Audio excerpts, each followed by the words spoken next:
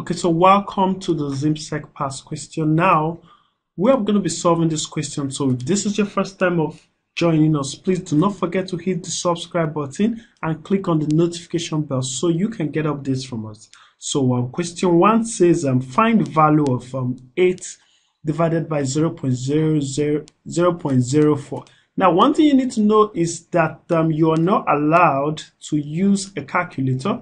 So to easily simplify this, multiply the numerator by 100 and um, also multiply the denominator by 100. The reason is because there are two decimal places here. When you multiply by 100, you'll be able to eliminate the decimal place. Now, this is going to be 800 all over 4. So you have 4 here is into 1, 4 into 800, you're going to get um, 200. So when you look for this value, the final answer is 200. Okay, so the question says simplify 1 and half minus 4 over 7 plus 2 over 3, giving the answer as a single fraction. Now, I can write this. This is 1 and half. This is minus 4 over 7 plus 2 over 3. Okay, so you know 1 and half is the same thing as 3 over 2 minus, you have a 4 over 7, and you have your 2 over 3. So Working on this, the LCM of 2 and 7 is going to be 14. 14 divided by 2, we're going to get um, that 7. 7 times 3, get 21, minus 14 divided by 7 is 2. 2 times 4 is going to give us 8.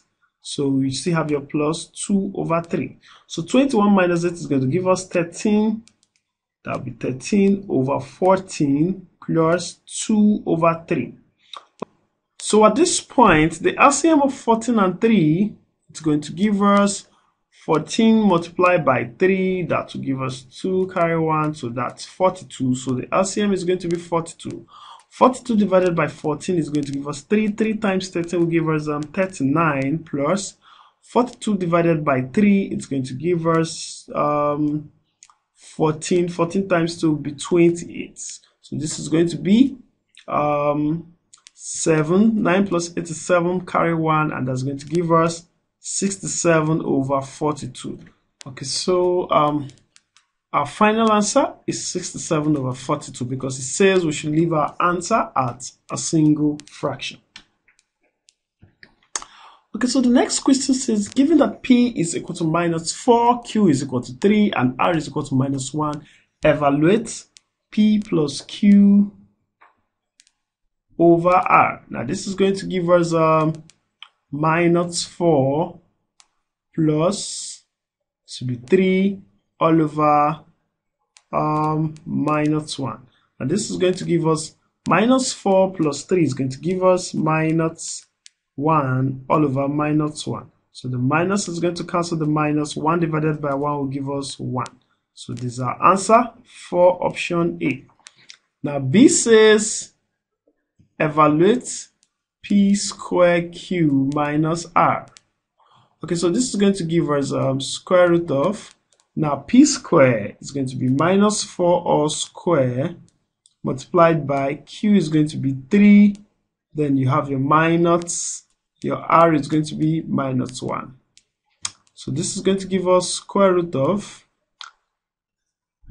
minus 4 square is going to give us 16 and 16 times 3 is going to give us that's 48 minus minus 1 so um, this is going to give us 48 so minus times minus is going to be plus 1 so we'll have um, square root of 49 and that's going to give us square root of 49 is going to give us 7 so that's the final answer in option B.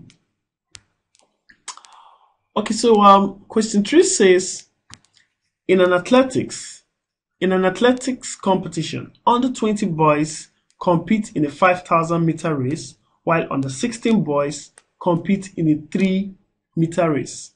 A. Calculate the difference in distance they run, giving the answers in standard form. Okay, so um, A. Difference in distance run by the several boys. How do we calculate it? Notice the under 20 boys ran a total so under 20, 20 distance covered will be 20 multiplied by 5000 and that's going to give us 2 times 5 is going to be 10 you put your zeros that's 100,000 meters covered by them. Why? The under 16 distance covered it's going to be that's 16 times 3000 now that's going to give us 16 times 3 is going to give us um 4 3 times 6 is going to be 8 that's 48,000 meters. Now difference in distance difference in distance it's going to be 100,000 subtract 48,000 now this is going to give me 56 52,000 sorry. So this is going to be 52,000 meters. Now how do I convert 52,000 to standard form? So this is 52,000 so you move your decimal place. This will be 1 2 3 4 so it's going to be 5.2 times 10 raised to power 4 meters so this is my final answer in the standard form Okay, now option B says a lap is 400 meters. Find the number of laps in 5,000 meters. So, um, in order to solve this question, we say one lap, um, or we say 400 meters equal to one lap. Now, 5,000 meters will be equal to, let's call it uh, x lap. So to get it, we're going to do x lap will be that's 5000 times 1 divided by 400 so that will be 5000 divided by 400 now your double zero cancels out to double zero. So um, you have um, um, you have um, 50 divided by 4 4 into 5 is going to give us 1 you carry 1 4 into 10 is going to give us um, 2 so um, you have a remainder of 2 and since it can't go, you put 0 in the 2. That's 4 into 20. You're going to get them um, 5. So the number of laps, number of laps will give us what 12.5. So there will be a 12 and a half lap in the race.